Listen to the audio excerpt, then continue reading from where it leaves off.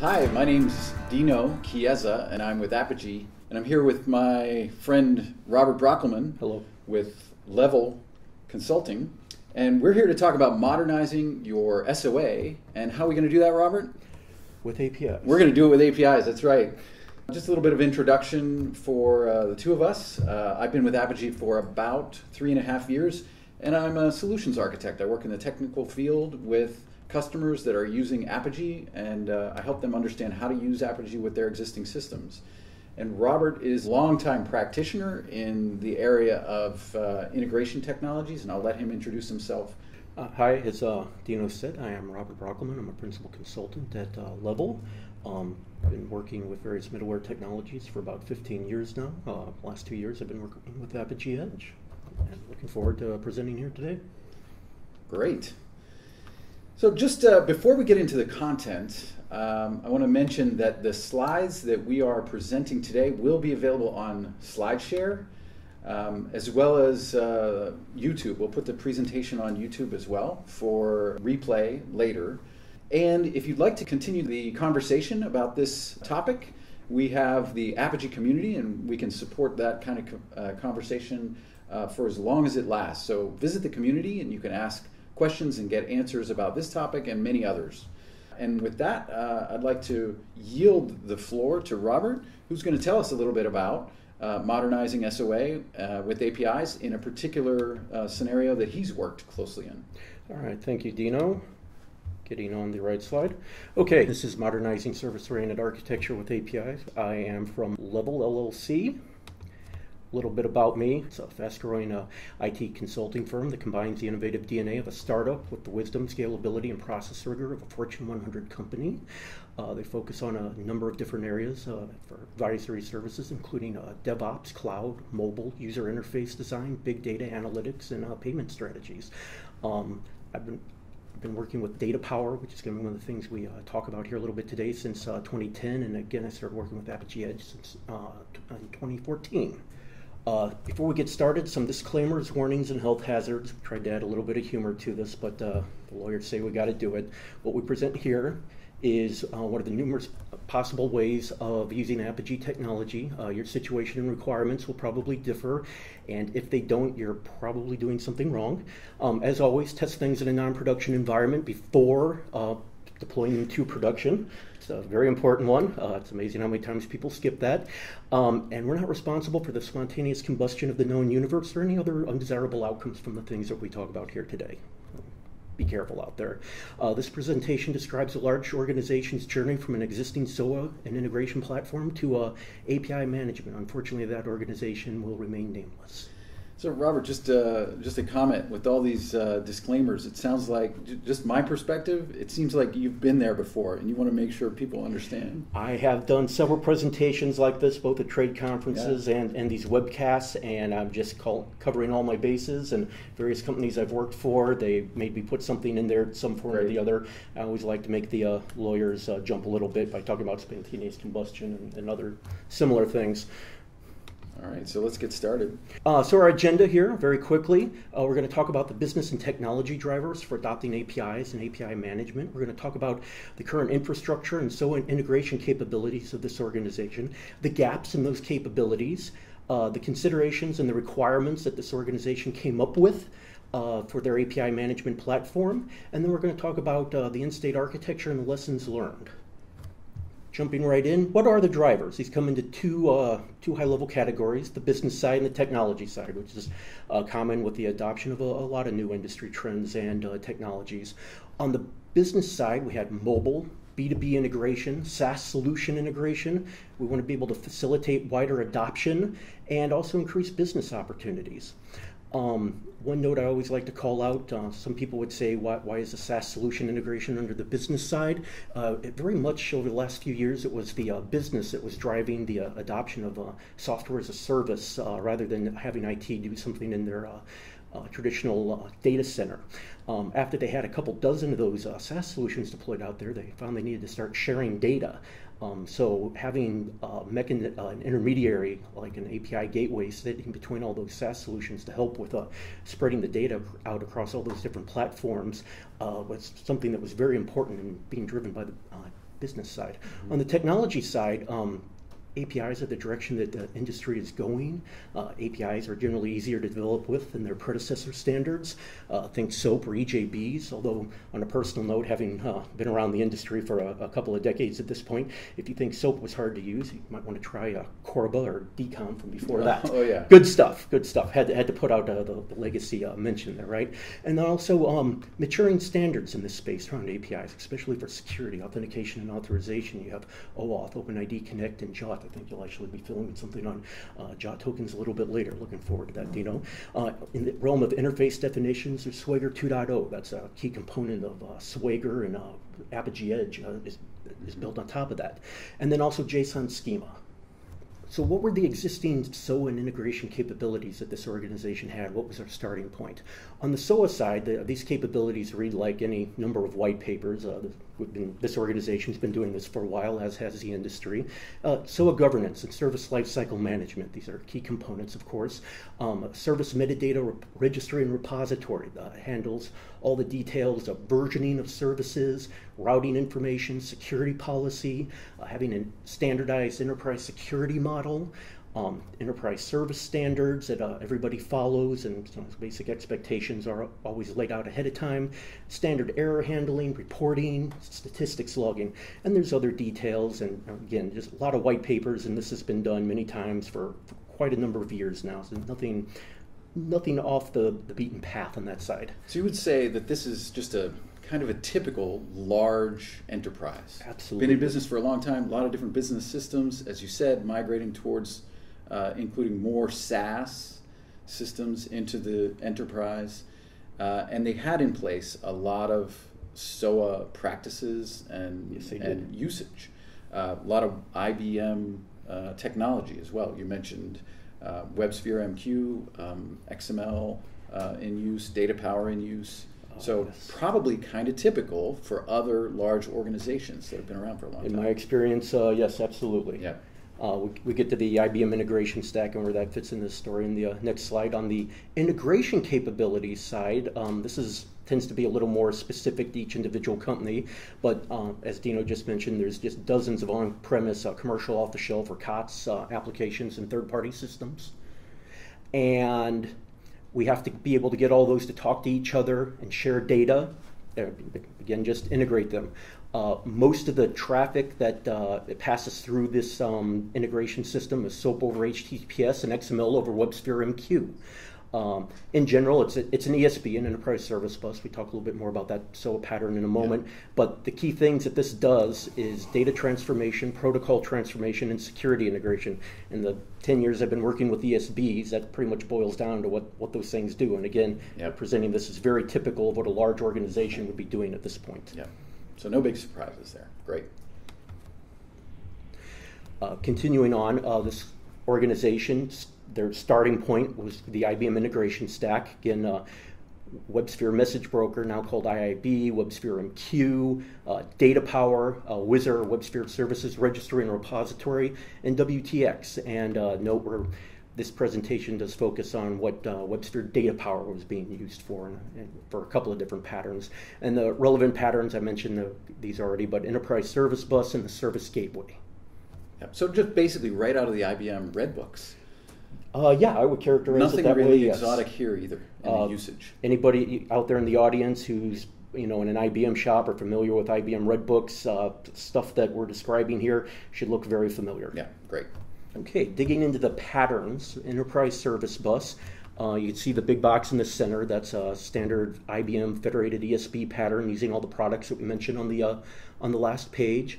On the left-hand side, you've got a bunch of different SOAP service consumers. These could be COTS applications, they could be .NET applications, they could be Java JEE applications running in JBoss or WAS. Could be uh, older systems that are using, you know, some third-party legacy uh, SOAP API, uh, or excuse me, library. On the right-hand side, we have various SOAP service providers. Again, JAX-WS, .NET, COTS applications, and then a lot of MQ messaging, asynchronous request respond, uh, producing messages and consuming messages. And throw all that together, and you've got uh, tens of millions of requests uh, passing through the ESB every uh, every day. So big, big business. It runs the business. Yes, This mission is- critical. Yep. Has has to be up, highly redundant. Um, again, all very standard Yep. patterns in the IBM world. And the role of data power in all this is to act as a security gateway in front of the ESB, largely in front of a WebSphere message broker uh, Yep. flows. Next pattern, little more involved, obviously a more complicated uh, picture. Uh, this one on the top, there's a the ingress and egress. On the top side, the egress, this is where service consumers inside the corporate network uh, need to be able to invoke services uh, that are actually hosted outside the network. Uh, these may be SaaS solutions, they may be third-party hosted systems that the uh, the organization actually controls. They may be business partners, uh, but the key thing is you've got something on the inside that has to pass through um, a security layer in the DMZ, the service gateway, and hitting various endpoints, service providers on the outside. Another key part of this pattern is that ESB that I had on the on the previous screen. Uh, the service consumers talk to the ESB, and then the ESB forwards traffic out into the DMZ, and then from there on out into the internet. Um, converse of all this, reverse, uh, the ingress model, where service consumers out on the uh, internet, again, SaaS solutions, B2B integration partners, are making calls into our DMZ with uh, data power acting as a uh, as a security gateway, Yeah. um, medi- applying various uh, forms of mediation, hitting service providers that are hosted inside the organization's uh, data center. Again, the mostly SOAP services, um, common COTS applications, uh, .NET, JEE, uh, all manner of evil, if you will. So this is the prior state. This is the state of uh, how things were prior to introducing API management, Correct. Uh, including the Apigee Edge product. This Correct. what the company was doing, and the company had been delivering this and maturing this over a number of years. Yes. Yeah, and you were involved in that. Yes, I was. Yep. Okay. So, uh, one of the reasons why I got involved in the API management side with this organization was I knew very well where we were coming Yeah. from, all the edge cases, the skeletons in the closet, if you will. So, I was well positioned to take that information and be able to uh, successfully deploy an API management solution um, alongside it. We've described what the current infrastructure looks like and what we did with it. Uh, what are the gaps in uh, in this infrastructure that was uh, driving uh, the decision to start moving towards an API management solution? Um, first up, uh, what I like to call legacy baggage. Uh, this was primarily created by the organization. It's not a function of the technology. I don't think it would have mattered what technology was there building an integration stack. Any company that's uh, got a mature ESB or mature integration uh, stack deployment is going to have a, a lot of edge cases and a lot of skeletons, as I mentioned before. Uh, this creates complications and obstacles that must be dealt with, but they can be dealt with as long as you capture them ahead of time and come up with a, a solid plan and well, stick follow through with it, if you will. Um, the existing integration stack products uh, were not built with REST APIs and JSON data, uh, data structures uh, in mind. It was added largely as an afterthought. That's created some complications as we've attempted to do a couple of different APIs and uh, REST services. And then what we have out there today is missing a developer portal. Uh, by a developer portal, I mean a one stop self service shop uh, for developers throughout the development lifecycle that ties into the DevOps plans for the organization. Um, basically, if everything a developer needs to get to write code, get a user ID and a group provision in LDAP, uh, get test cases created, if they're waiting on somebody to manually set all these things up, they're not being very productive. So likewise being able to find documentation. Uh, we, we had nothing like that. It was all done through email and, and opening tickets and waiting for things to happen manually.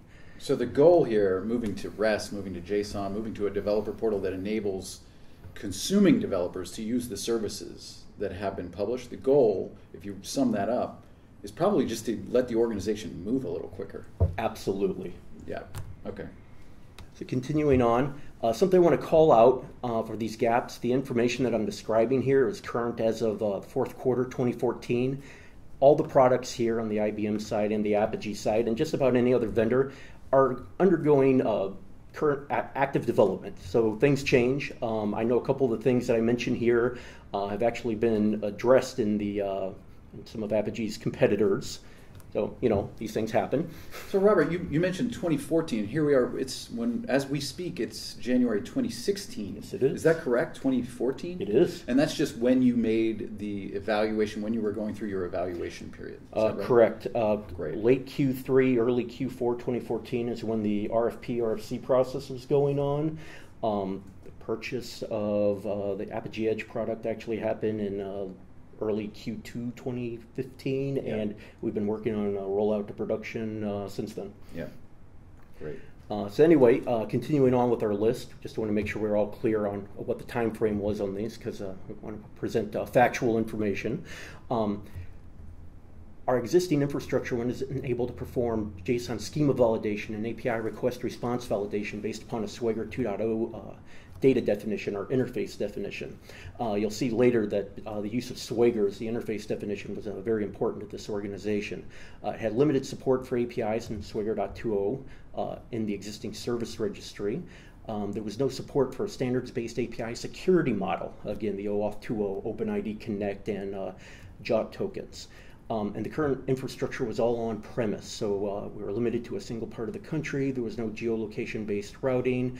Um, basically, the next phase of our or next phase and evolution of our integration platform, we wanted it to be out in the cloud and not tied to a data center that uh, this organization maintained. So to be honest, I see that kind of thing all the time when I talk to customers. They want to move more and more towards cloud to get uh, to reduce the costs and get a little more agile and flexible with how they deploy systems. And then they want to move to APIs in order to get developers more agile in building against those systems. I would agree. Um, I think as I've gone along and worked with different customers, I found that um, although the traditional role of the system administrator and the hardware admins managing a data center, that sucks up a lot of time and money and resources that an IT department could deploy elsewhere to, to be productive, add value to the business. Uh, I mean, it's a basic story around cloud Yeah. computing, right? But that's Yeah. only a, that's only a one component of this API management strategy Right. that we're that we're trying to describe here today. Yep. So we've talked about uh, where we started. We talked about the gaps. So now it comes to the question of why do we want to modernize? Why do we want to use APIs? And in trying to answer this question, I went out and grabbed a, a couple of different sources of information. Some of it's from the uh, Apigee uh, API marketing literature. Some of it's from a few other places. My experience has been that uh, one of these ring, one or more of these tends to ring true with just about everybody, regardless of who the audience is. But very quickly, it's just APIs have become the industry standard for system interfaces of all kinds. Um, they hide complexity, expose existing functionality. Um, one that I really liked is we started moving things from our internal, uh, our own data centers into, or the organization's own data centers out into the cloud, is APIs could serve as the basis for reporting those systems and functionality into the cloud. Um, it makes it easier for other business units and business partners to access systems and data, but also uh, maintain security. Again, the standardized security model we uh, mentioned before. And then I view this API management and APIs as the next step in the evolution of uh, SOA integration and platform. I like the way you said that. Um, there are some of the customers that I talk to that look at APIs as a, as a way to kind of revolutionize the way they're thinking about business and information processing. They want to turn their their business into a platform. They want to invite lots and lots of different developers to consume programmable APIs, and this is a, a new thing for them to expose these programmable interfaces. But the way this organization looked at it was a little bit different, as an evolution, not a revolution, not as a something that would totally disrupt everything, but something that would uh, progress from where you were today to just get more agile, better ease of use with developers, and just Yeah. better agility in it, the business. You know, it's, it may not be the most exciting story in the API management Yeah. uh, space of the industry, but the simple fact of the matter is it's large organization, mature, thousands of business partners, a great deal of time and money spent integrating with those business partners. And simply comes down to uh, the search for a better, faster, cheaper way of integrating with business partners Yeah. and, and third parties, and, and also interfacing with uh, customers. That's a big topic, lots of uh, details, but at the end of the day, what we're doing with APIs and API management is simply streamlining what we've been doing for years uh, with this particular Yeah. client and their customers. Um, with SOAP Web Services, WS Security, SAML, WS Trust, and emailing WSDL files back and forth, essentially. yeah, yeah, That's where that developer portal comes in. yeah, We're really nice. trying to uh, just, just streamline that. Yeah. So um, just to just to interrupt, uh, we haven't gotten to the uh, to the benefits yet, and we have a long way to go. But would you say that uh, the developer portal is the most important part of an API strategy? I would say the developer portal, which is the outside world, all those third party developers view into your organization, is a key component combined with uh, your strategy or an organization strategy around API governance and API lifecycle management. So those three buzzwords, developer portal, API uh, lifecycle uh, management, and uh, API governance, together yep. I would say is the core of what API management really is. So you can't really pull one thing out and say, well, yeah, that's that's the important thing. I don't really need these other pieces. Uh, you can't really separate them, pull them. Exactly, they, they work together, and that's the experience that I've gotten from other uh, customers as well. Is it's the it's the uh, synergy behind or w- among all those different pieces that really makes sense. Have to use that buzzword. I had to. Okay, yeah. we did at least once, so yeah, it's good. We, we got that taken care of. All right. So this comes down to now what were the requirements for an API management solution and an API management strategy that this organization came up with? And it's very important to remember that this is what one organization did as I said when we started this, the requirements for your organization are going to be different. And if you decide that they're not, I would have to say that you need to reevaluate that. You're probably doing something wrong. First up, they want to use an API first design methodology for APIs. And uh, this goes right along with how Apigee Edge Server and its development tools work. Moreover, they want to use Swagger 2.0 as the interface definition language, uh, kind of a, a WSDL for APIs, if you will. I'm sure somebody will be criticizing me later for describing it that way, but yep. at the end of the day, that is what it is. Um, Swagger 2.0 ties together as a security model, our standard data and messaging models, uh, our API, internal API standards, and the internal SDLC process. It also provides a very simple and easy to use testing mechanism uh, for APIs, all right there in one thing. WSDLs never did that, haha. But uh, anyway, and then the developer portal came back to that one again. Um, it's just that one-stop self-service shop for developers, uh, access to developer registration, application registration, API documentation, subscribing to APIs, security registration, creating users, groups, provisioning these things, um, you no longer have to have somebody uh, wait to do that manually for you, which is the way it's still done in many large organizations today. And most importantly, it's all self service.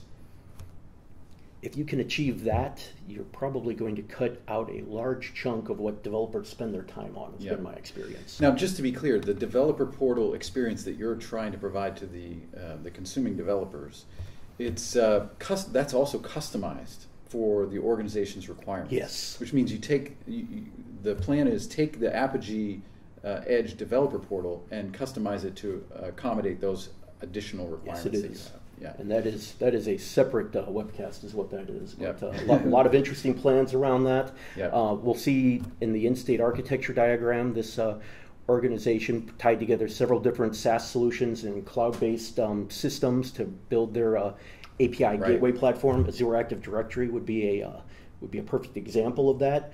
Uh, the Apigee Developer Portal had to be customized to be able to uh, provision uh, application definitions, client identifiers, client secrets, and similar things uh, inside of Azure Active Directory. Yep. And again, lots of details there. Would love to get into it, but we are a limited amount of time. Um, so continuing on with the uh, requirements, as a starting point, this organization took their existing SOA governance and service lifecycle management paradigm and applied it to APIs.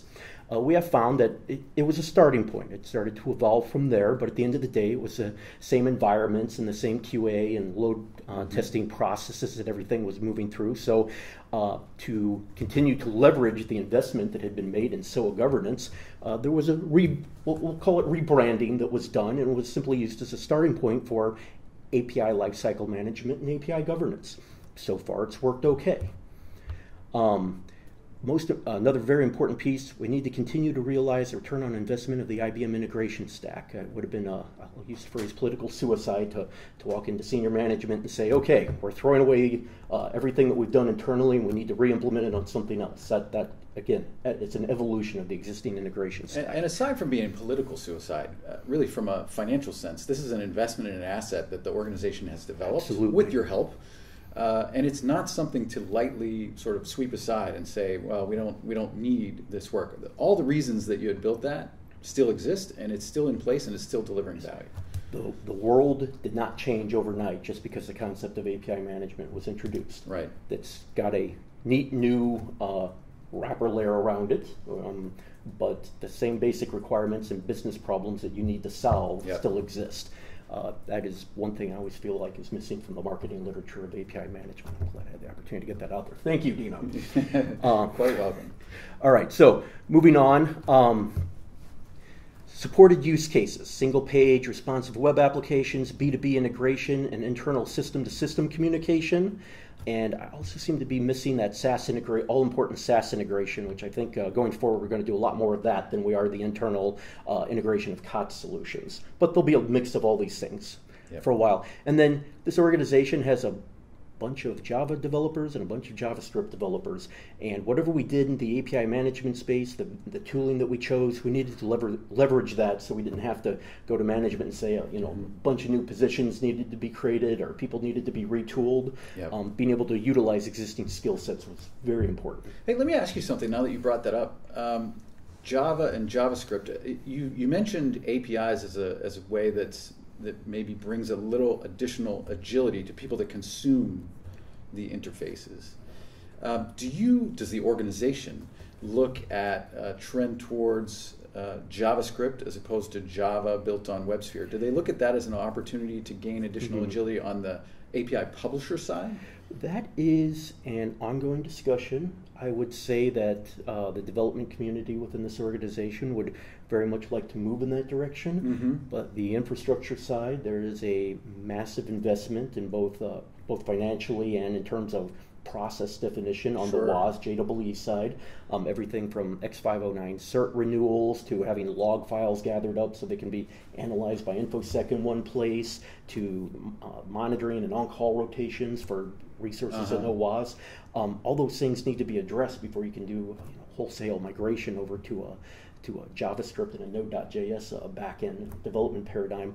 Um, somebody else would say, well, you can start small and grow from there. And I agree, and we are starting small with that, but that is Great. exactly what we're attempting to do. So it's somewhat complementary and independent in some ways. You can move to JavaScript if you want, but it's not necessary. And it's in by and large, it's, you're not coupling them. This organization is not saying, well, if we go to APIs, we're also going to move to this uh, new uh, platform for the back end as well. If I had to venture a guess, I would say three to five years out, all new development would be JavaScript. You'll start to see that Yeah. switch, yeah. But it'll be gradual, yeah. Mm. Okay, good. So it's going to depend on which developers were assigned to your project, and you know what do they know Yeah. very well, what are they comfortable with. Yeah. Uh, moving on, on the security side, uh, again, ESB, SOAP Web Services is an enterprise security model based around SAML 2.0, WS uh, Trust 1.3, and WS Security. Uh, that was used as a starting point uh, for what uh, the enterprise API security model was supposed to look like. Um, and we also wanted to be standards based, so we started with OAuth 2.0, OpenID Connect, and JOT, and applied some of the ancillary standards around OAuth 2.0, and were able to do something very similar that we've been doing with SAML and, and WS Security. Again, the standards based approach to security is something that I recommend to all my uh, customers. Sometimes the industry doesn't necessarily make it simple, but that Yeah. if you do the work up front to achieve that, it's always possible to swap components out in the future if uh, companies go out of Mhm. business, they get bought, things get merged, the product goes in directions you don't like. This is these are good things Yep. uh, to keep in mind and be prepared for. Architect around, if you will. Um, PCI compliance, not a requirement now, but it could be in the future. Apigee Edge Public Cloud is built on top of AWS, which does have PCI compliance options. So uh, we haven't spent much time researching that, but it has been done before. And Apigee could speak to that at another time if for Sure. anyone who's interested. And then we wanted a cloud-based solution. I talked a little bit about this before. We want to extend the on-premise integration stack capabilities into the cloud. Uh, going forward, there's going to be many more SaaS API providers and consumers, and there are um, on-premise deployments of applications. Even as we were talking about a moment ago, homegrown stuff, uh, enterprise uh, APIs, even SOAP web services that are created probably going to start to see a migration towards They'll cloud the cloud. hosted. Yep. It'll be in the cloud. It'll be written in JavaScript, Node.js. Um, it's going to be really cool. Solve Yeah. all our problems. Yeah. A little sarcasm, people. little- don't add a think little that- cloud in. Yeah, It's yeah, just yeah. be better. Just sprinkling. Um, sarcasm, people. Please remember that. Uh, anyway. We don't want to be limited to a single cloud provider, and then all the other usual benefits of a cloud-based infrastructure. That's not our focus here today, but there's Yeah. any amount of literature out there and, and companies um, toting what, what exactly that means. We'll leave it at that. I maintain it's a good thing. So this brings us to what is API management? And this is kind of mom and apple pie, perhaps, for the, the audience that looks that uh, has come to view this webinar, maybe. Probably. Um, I would hope most of the people who are watching this have some idea of what API management's about or what they want to achieve with it. But we put this in there in case uh, Yep. in case they don't know. Just And, a level set, sure. Yeah, yeah. Um, so what is API management? Just like just like I did with the previous slide, I went out and grabbed a couple of definitions that would uh, hopefully mean something to somebody, if uh, not all of it. The process of publishing, promoting, and overseeing APIs in a secure, scalable environment. I'm pretty sure that one comes directly from the AP or the Apigee uh, marketing literature. Thank you, Dino. Yes. Then um, ensuring that developers and partners are productive. Uh, it manages, secures, and mediates their API traffic. It allows an organization to grow their API program to meet increasing demands. And another point that I like to call out, because I think there's a lot of confusion around this for somebody who's new to this space and trying to, is part of an RFC, RFP process and trying to figure out what's going on. Every API management solution that I have seen on the on the market has three basic components a management portal, a developer portal, and a runtime gateway. Uh, everything that you're going to do with these, uh, every piece of functionality fits into those three components in some way. Yeah. Um, I found that when I'm talking with a new client, starting with those three circles on the board and kind of expanding out from there is a really good way to get Yeah. the conversation started. And you and I were talking a little bit earlier. This definition, while it may be kind of review for the people that are attending this webinar, you found that using this definition inside the organization and communicating out to the different stakeholders, the people that would care, the executives, yes. you found that using a kind of simple definition like this, vendor neutral, kind of just technology definition, what is this thing, helped a lot in communicating did. what we're doing here, what what's really happening inside your organization. Yes. Yeah. Thank you for reminding me of that. Lots of things that we wanted to get out there that we did not write down. Okay, so we, we addressed what the requirements are. Then there was a project to implement all this stuff. And I got the last two slides out of order. We're supposed to show the in-state architecture and then do lessons learned, but instead we're going to do lessons learned first and then review the in-state architecture. I can't wait to see it. All right, yeah, me too. So let's hurry up and get through the lessons learned, and then we'll get to the in-state architecture. Okay, so first one, um, obviously, given the uh, politics and the investment and uh, mission-critical business systems that we're running on the existing uh, integration stack, especially data power, we left that in the data center for, for this organization and let it do what it had been doing for a, a number of years. And our API gateway, our Apigee Edge, we decided to put out in the cloud, and this allowed us to continue to realize the, the ROI with IBM, the return on investment with the IBM integration stack, and let it do what it's good at. And then we were able to address our gaps and do the things that uh, in the API management space that we wanted to, independent of our of the organization's data centers out in the cloud with Apigee Edge public cloud. Um, Next, when you are deploying a piece of uh, complex middleware, really anything out in the cloud, avoid creating runtime dependencies for something that ties back to your data center, uh, especially if it, your data center, there's only one of them. You know, if you've got two data centers and one's a primary and one's inactive, well, if your, the internet connection on your primary data center goes down, uh, you just created a, an outage to your whole cloud platform, thus negating the most of the benefits of it running in the cloud Right. um, architecting the IA, the identity provider stack, the IAM stack, the uh, the logging, the uh, and all the other runtime components of our API gateway and everything that we wanted to do with it, um, making sure that those were all cloud based and not de- having some dependency in the background that tied back to a, a data center that the, the company owned uh, was a little challenging in the beginning. And we didn't get it all exactly right the first time. It's absolutely amazing what ends up going back to your data center, even though you didn't you, you didn't realize it the first time around. Um, next, and this is probably one of the most important ones, and the ones I got asked most often, is going forward for the foreseeable future. There's going to continue to be a mix of SOAP and REST APIs. Um, all those COTS applications that we have in the in the data center. Uh, they're going to continue to be SOAP for a long time. We're not going to upgrade them just because they have a new version that has APIs. There's going to be business drivers for these things. So, uh, another very important message to communicate to the entire development community and to management was the SOAP services don't go away overnight. That just comes back to that integration stack and that ESB. They're not going anywhere. Uh, it's an evolution. In this case, it was not a revolution, as fun as that may be. Yep. Um, and then APIs. Uh, there are specs developing in this space. It, it is a maturing segment of the industry, but they are still the specs themselves and the implementations in various products, proprietary, open source, whatever.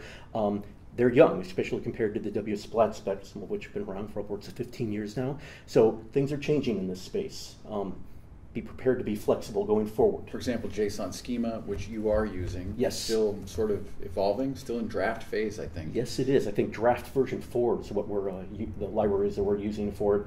Um, it some details will change. Yep. Some parts of the spec that are a little fuzzy, and not everything's 100% uh, interoperable. But you evaluated and found it good enough to yes. use now. Yes, we so did. Dis- despite the fact that it may change, uh, you're willing to tolerate the, the risk of um, of change, and, and you figure it's mostly pretty stable. Uh, there, there is an assumption there, obviously. Uh, actually, when I was looking at JSON schema libraries for yep. Node.js and Java, I looked at like six of them, measured the performance.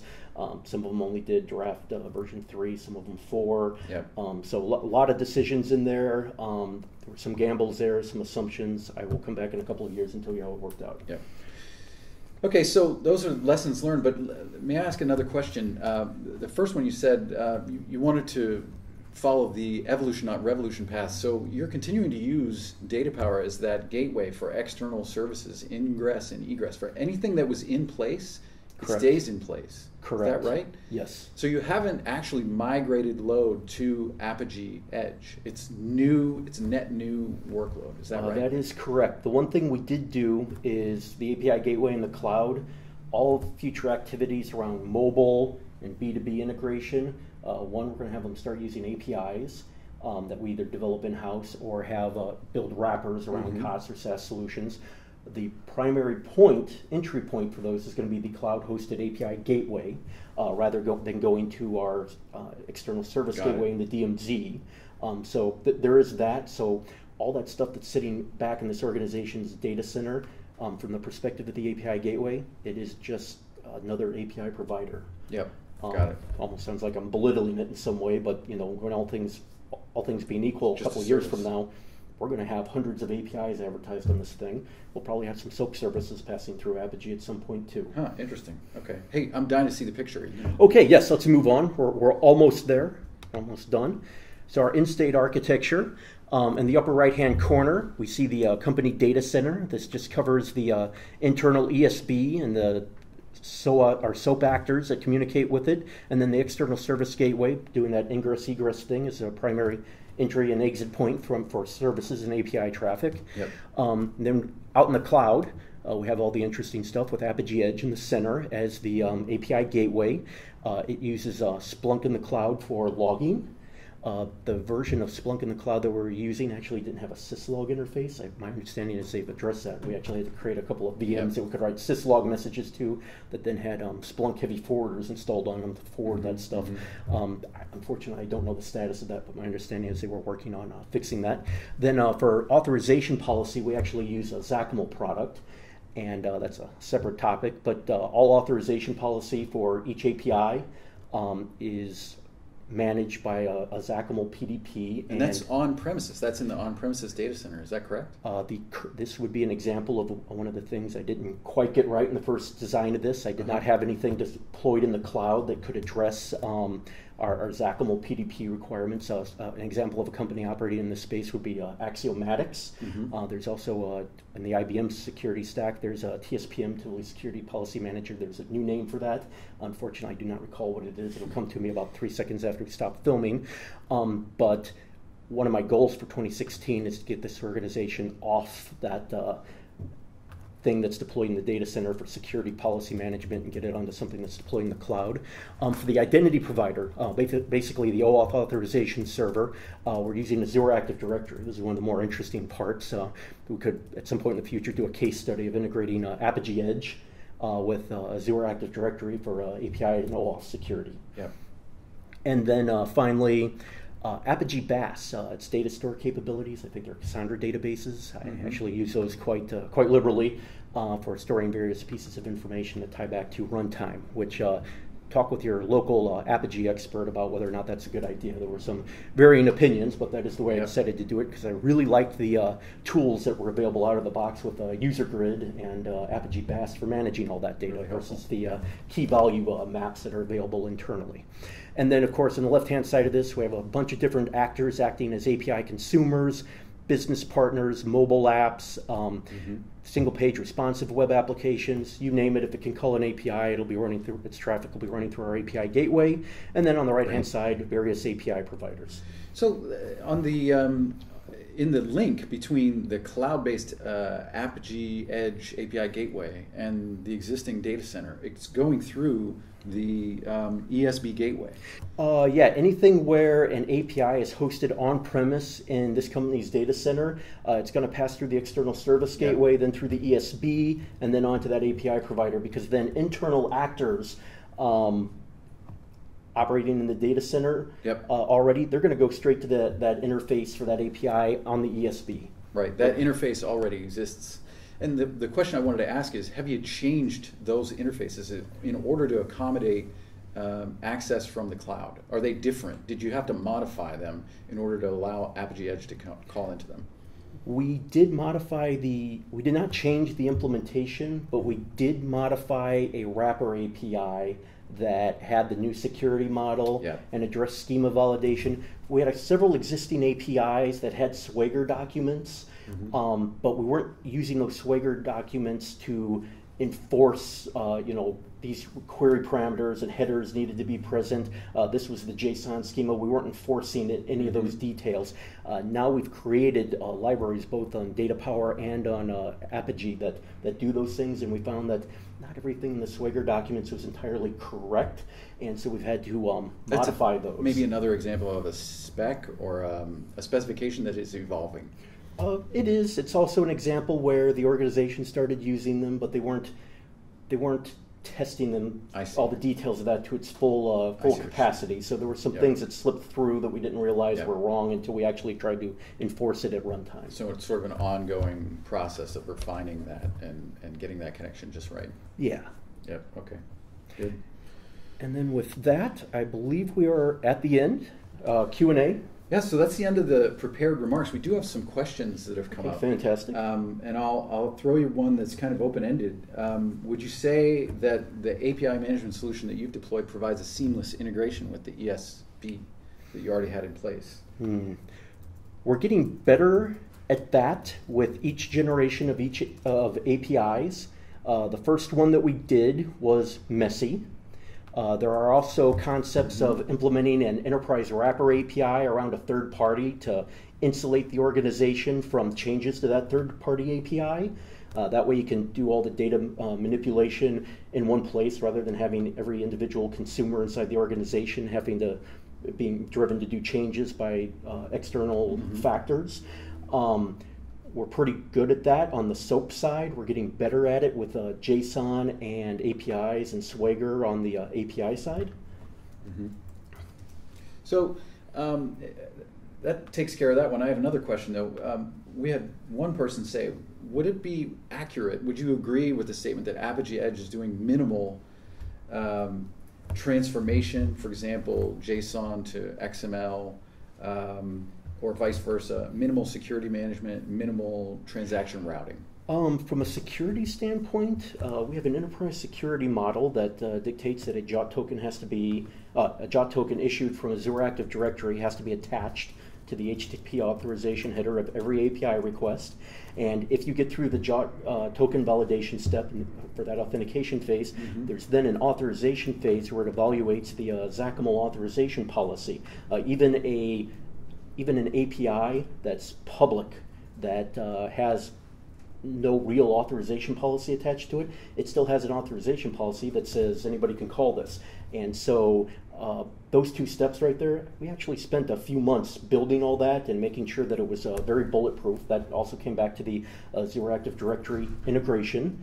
Um, so to say that it was minimal on the security side, that, that is not true at all. We're actually Yeah. pretty intense with security on our cloud-based API gateway. You've really turned the crank on the existing uh, model, the existing security model that you had in place with uh, XML and SOAP Yes. services.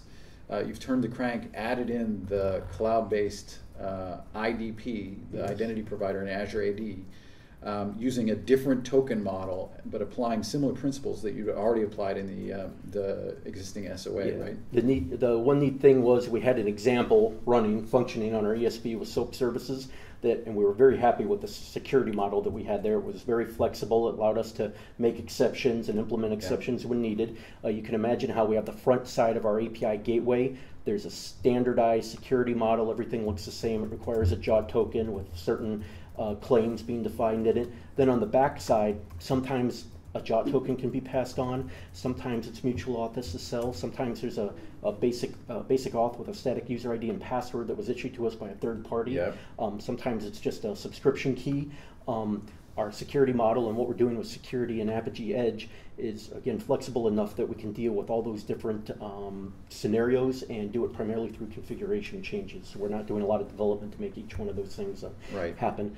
There's this thing I called the token swapper that we implemented in Yeah. Apigee, which was mo- modeled on something we did in Data Power back in our ESB. Where, just- where the communication comes in bearing a certain token or a certain set of credentials, and it's um, it switches to another set of credentials. That's kind of a standard security practice that we see in a lot of enterprises. So that's what you're doing in Apigee Edge Yes. today. That's one of the things And doing. doing that securely can be get a little tricky and also messy, but I, I think we're pulling it off nicely. Now, the other side with protocol transformation and data transformation, protocol transformation is a minimum. It's pretty much HTTPS in, HTTPS out. Um, Yeah. about the most complex thing we're going to do from a data transformation standpoint is uh, we may put do a JSON wrapper around a SOAP service that was on the back end. We have a couple of those. Um, we implement that through a combination of out-of-the-box uh, Apigee policies and then some JavaScript and some XSLT, depending on what makes sense. Yeah, yeah. So a little bit of that, uh, and but you would you expect that uh, kind of work to continue? Uh, you'll probably see broader use of those kinds of things as time goes on. Uh, yes, absolutely. Um, Mm-hmm. there's always going to be some lightweight transformation that needs to be done in almost every case. Another interesting thing that we're doing is uh, we're using JavaScript and the okay the JavaScript that we're writing for Apigee. We're also using in Da- Data Power's uh, Gateway uh, uh, engine, which is their JavaScript uh, server-side JavaScript engine. So we're actually writing cross-platform JavaScript that can run in both places. You have to run it through the browserify command to, uh, to really get that to work Yeah, well. yeah. Uh, again, separate topic. We could be here for a while talking about that, but Yeah. um, we're trying to min- if there's transformations we have to do where we advertise the interface both internally in the ESB and in the API gateway. Uh, if we write a lot of JavaScript code to ad- address that, even some some of the XSLT, uh, we try to make it so that we can run it on both platforms. Yeah. So, um, how would you rate the experience so far? So, you went through phase one, really. The organization went through phase one of deploying API management using, uh, relying on Apigee Edge. Mm-hmm. Uh, what's the experience been so far? Um, overall, I'd say good. Um, a lot of politics, a lot of new concepts. Mm-hmm. trying to rein in the enthusiasm for API management, new technology, uh, and combine that with the discipline from our SOA governance practice and change management Yep. policies. Uh, there, are challenges around it, um, getting everyone under control and uh, getting everyone marching. So you're in saying the there's same a lot of excitement to, to pursue this, but yet uh, that excitement can can sort of lead people to be uh, to neglect maybe the basic foundational stuff, like let's make sure the security is done right. Let's make sure our audits are done properly. Let's make sure our SDLC conforms to the the standards that we require. Yes, that my, kind of thing. my role was primarily for uh, developing. You're the adult in the room. Something like that, yes. but um, the secure, the, AP, the enterprise API security model, the governance, the uh, API lifecycle management, making sure all those pieces were tied together, Yeah. documented, and they actually worked, and people understood what needed to be done. Um, ongoing Yeah. process, but those are the boring parts that are really hard. But that's also key foundational pieces that are needed for a successful API management program For an enterprise, for sure, you, you can't neglect for that. the enterprise. yes. Otherwise, and we, you and I talked about this uh, repeatedly uh, as time went on. But if you don't cover those things, then you've sort of doomed APIs to be a niche thing that's not going to get broad adoption. It's not going to be used uh, throughout the enterprise. If you don't cover those foundations, it's it's just not going to be acceptable to the rest of the enterprise. The way I would describe this, and there's probably going to be somebody out there somewhere who's going to be booing me for this, but in the same way that it was really easy to screw up SOA and SOAP web services without SOA governance Mhm. and SOAP lifecycle management, Yep. it's really easy to screw up APIs and API management without the governance and, and API lifecycle management. Yeah, so so you still need uh, intelligent people with a good perspective on what the problems are. You need to address the security. You need to kind of shepherd this through, Mhm. educate the organization, and do things thoughtfully. I like the adult in the room concept, but yes. There you go. there you go. Okay, so um, so I think that's all the time that we have for questions from the field. For the additional questions, we'll we'll try to get to those uh, on Yeah. the community website. If you do have follow up questions. Uh, or if you have any comments, we'd love to hear those as well on the community website. So I'll direct you uh, there. Um, the attendees that are that are listening live would be great, as well as anybody that's been viewing this um, on the replay. Uh, community website will will continue to be there carrying that conversation. So please do patronize that. And one more reminder: the slides uh, will be available on SlideShare and YouTube. Uh, for those of you that want to get those uh, at a later date to view them again, uh, it'll be a couple of weeks, but you should see that uh, as well. So thanks everyone for your time. Thanks for coming and attending. Uh, again, it's Dino Chiesa, Robert Broeckelmann. Um, glad that we were able to spend some time with you. Thank you, everybody. I hope you got something out of this.